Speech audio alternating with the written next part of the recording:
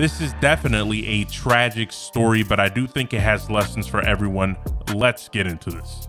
Hey guys, I hope you're having a fantastic holiday season with your family and friends. Unfortunately, not everyone can do the same with their loved ones. This is the case for 27 year old Mye Johnson. Her orphaned son will have to live without his mother for the rest of his life due to poor decision making. Okay, so cops responded early Thursday morning to a report of shots fired on Steinway Street near Astoria Boulevard after a dispute involving a large crowd celebrating a birthday party around 4 a.m. Officers found three 27 year olds wounded at the scene. One of them, a woman shot in the torso and leg three times, later died at Mount Sinai, Queens. She was later identified as Mye Johnson, she was a school safety agent assigned to Brooklyn North since 2017. Another woman was shot in her arm and a man was struck in the buttocks and shoulder. Neither of their identities have been revealed, but both were expected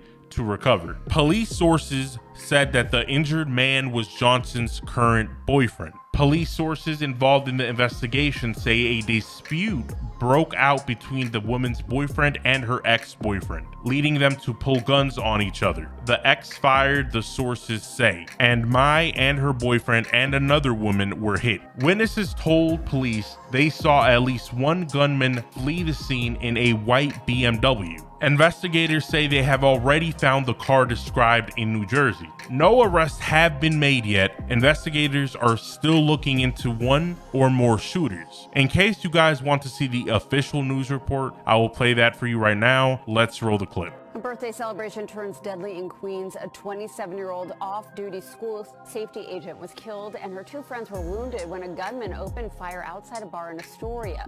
Eyewitness News reporter Chantee Lans is live with the latest on the search for the shooter. Shantae.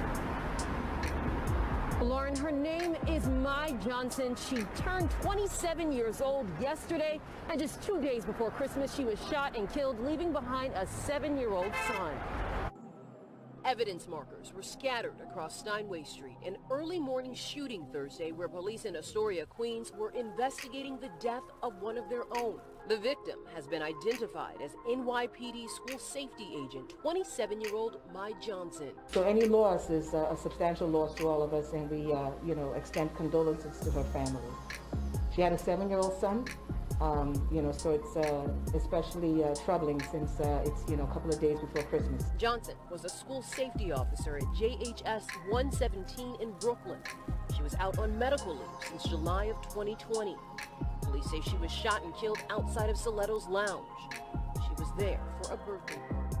Okay, guys, so after seeing the reports and the video, you can now see why this story is so tragic. The female was unfortunately making poor decisions on the type of partners she decided to be with. We got reports that the men she was dealing with have gang ties. I believe some of the men she was dealing with specifically were Bloods. And as we know, men who decide to kill a woman over the fact that she's seeing another man is a simp. So not only were they Bloods, but they could not control their emotions enough to realize that killing a mother is not justified just because their feelings are hurt. This was a cocktail of bad decision making that unfortunately left a child orphaned. Both men and women can learn from these kind of mistakes. Women, uh, make sure not to involve yourself with lunatics, and men have some self respect. Never injure or kill a female if she's cheating on you or dating another guy. That's never the answer. It only reveals how weak you are. And that can apply to both men and women. You can switch around the scenarios. Okay, guys, tell me what you think about this story down below in the comment section. I, I really want to hear what you have to say. Remember to like and subscribe, and I'll see you guys later. Peace.